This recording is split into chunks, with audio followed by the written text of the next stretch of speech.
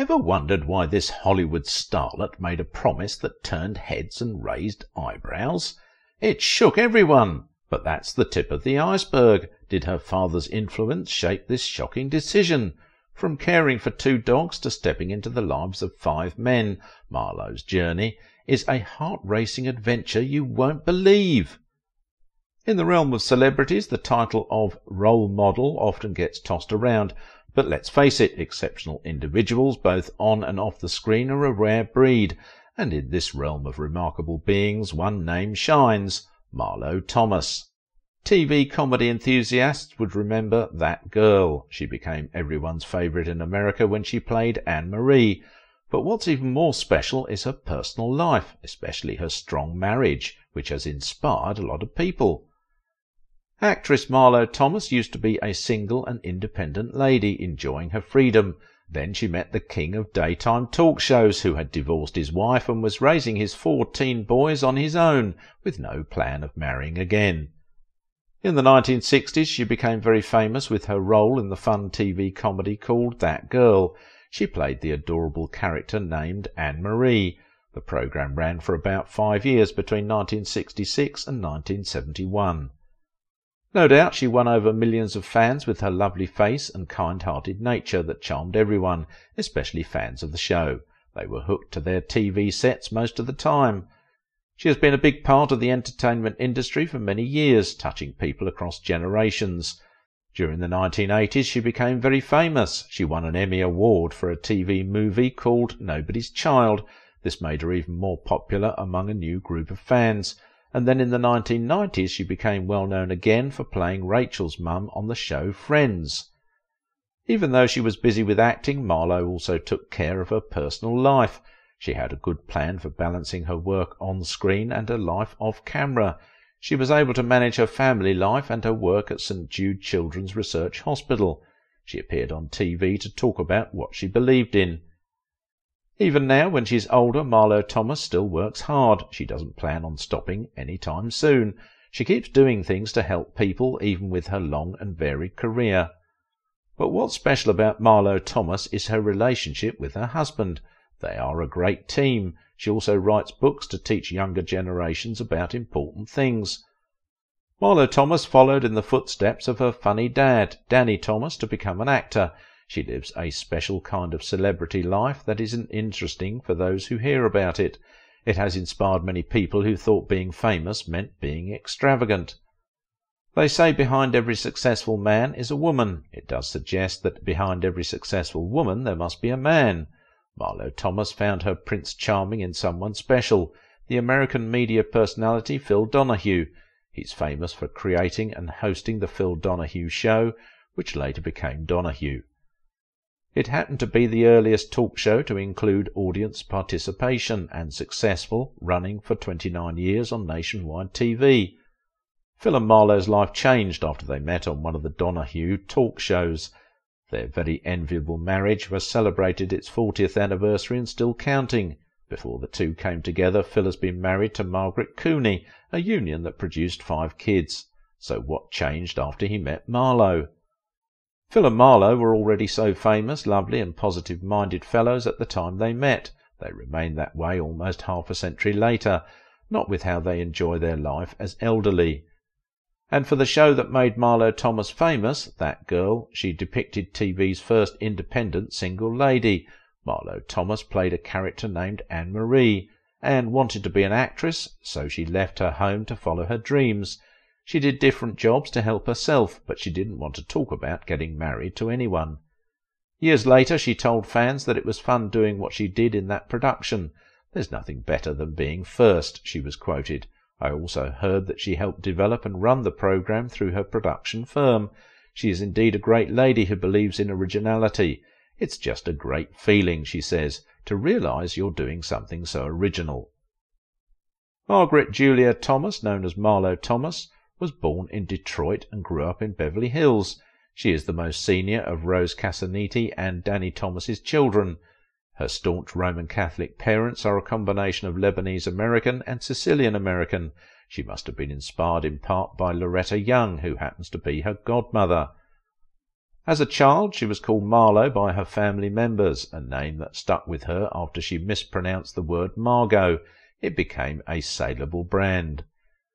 During her time at Marymount High School, Marlo was getting ready for her future role as America's sweetheart.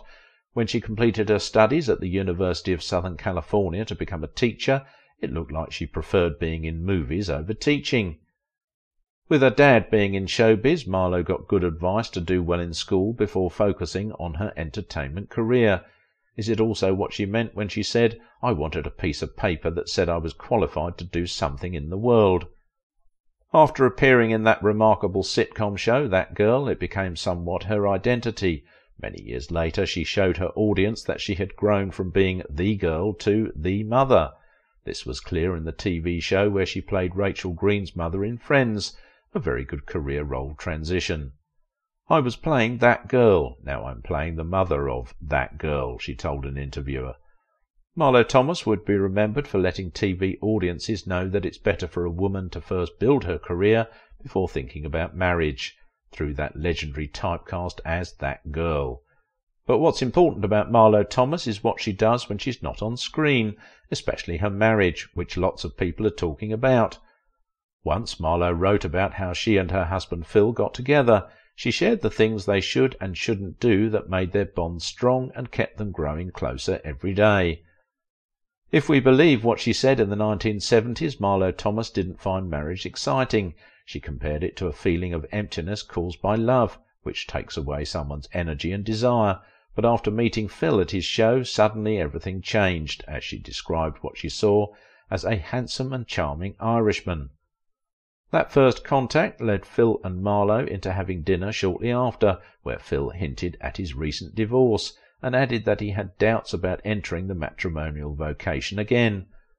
Marlo talked about how she thought meeting her husband was just right and at the right time. She felt they both believed in the same ideas. But what other magic held them together after getting married?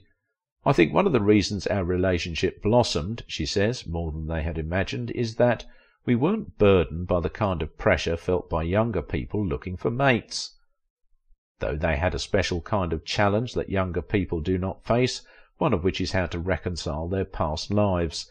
Phil, who was doing well career-wise in Chicago, was living with his four sons, while Marlo was familiar with her Los Angeles family background. The two people who loved each other decided to forget about their previous lives and make a new family together, even though it was a tough decision. They understood that they needed to think about their future, focusing not on what we thought they would be, but what they could be. As they say, the older the better, or even wiser, the wisdom of her late thirties and his early forties worked together to produce trust in their hearts. While some say love is sweeter on a second try, Marlo says, for me the first time has been just fine. Is it true that a marriage would last when the two involved decide to hold on and get through the passion and the battle together? This is one of the things that is still holding Margot and Phil stronger together. Was their affection a kind of love at first sight? Maybe or maybe not, but Marlo thinks something chemical happened on their first meeting. She was smitten by Phil and she got interested in him, while Phil would later remember thinking Marlo was a bad thought. All that is now history, as they are now among the most celebrated celebrity couples of our time. Once Marlo got married to her husband, they started doing things together in their new family they made, like writing books. They even wrote a super popular book called What Makes a Marriage Last. On how this lovely marriage began and survived the initial marital hurdle as newlyweds, Marlo once hinted how she faced a big challenge where their romance had to take a back seat. I went from having two dogs to having four boys and a husband, Marlo was quoted. This new vocation was not easy for Marlo, as she had early fear that the fresh marital burden may affect the love they had for each other. Marlo's husband realized that eating together with his boys helped him understand them better, and he praised Marlo for making the house more organized, and most importantly, she was lucky the boys were happy with her clean and orderly arrangement of the house. From all indications, it seems Marlo can act as a good wife and stepmother because of her moral background, which she inculcated from her parents. Growing up, Marlo had a perfect relationship with her father, who she cherished his company as a child. She admitted to being what you call a daddy's girl and praised her father for moulding her into what she has become today. She said her successful show That Girl was also thanks to her father. She remembered he was a devoted Catholic who wanted her to wait until marriage to have sex. She recalled his words. Virginity is a gift you give your husband on his honeymoon night. She added her own saying, If you lose it, you will have to show up empty handed.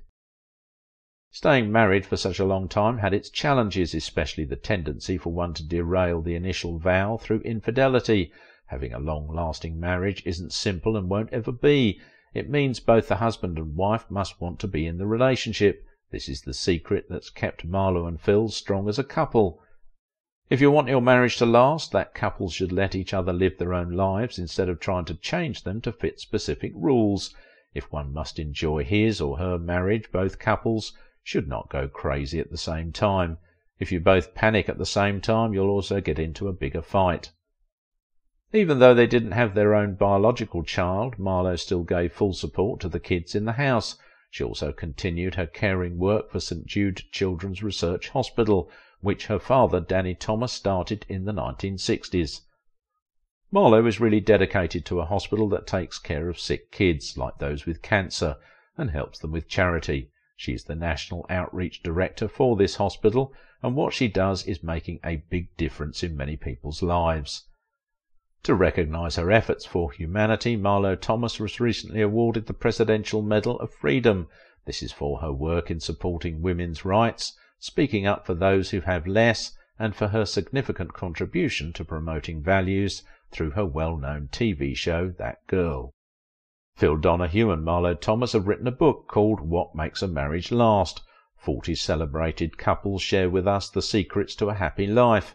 In this book, they talk about their own experiences and stories from other couples who have had successful marriages. I was thrilled after reading an excerpt from the book on what the couple thought of themselves the first time they met. Marlo said, I was the girl who never wanted any part of it, talking about marriage because it didn't seem like a roomy enough place for me. While Phil opined that I knew from the moment I met her that there was a guest who would never let me die on the air, and added that Marlo also had a great body, and had the year been 1953, she would have been what we Catholics called an impure thought. Donahue also talked about Marlo's Catholic background and how it was unusual for her to stay single for a long time. He mentioned, if you're a Catholic girl and unmarried by 22, your mother started a novena, which is like a special prayer to help you find a husband. Marlo, in the cause of her singlehood, dated several persons, more than Phil would want to think about, but he says in all they're very nice people. I've met many of them, and they're all nice people, he was quoted. Click on another video right away. How was Pilar Pallete annihilated by John Wayne?